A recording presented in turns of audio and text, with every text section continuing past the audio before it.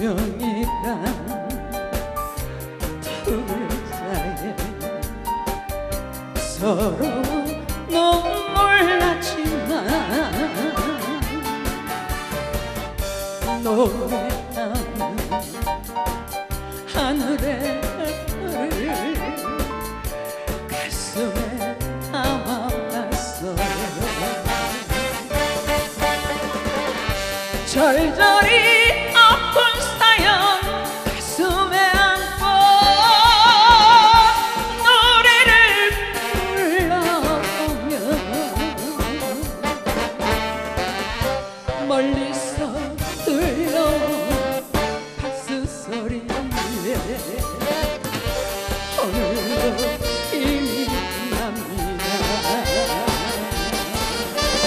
자 박수 한번 주세요.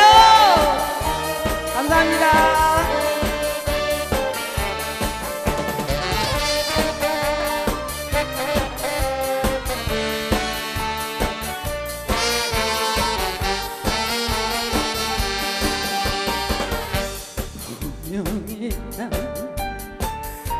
둘을 잘래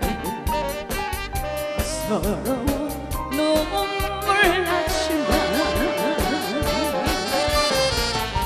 no